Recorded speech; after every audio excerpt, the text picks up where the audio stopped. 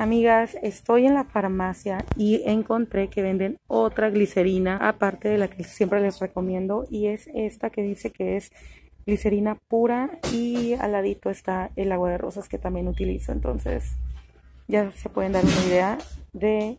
y está al ladito de los aceites, del aceite de coco y bueno, esta ya me dio curiosidad, creo que me voy a llevar una de estas para probarla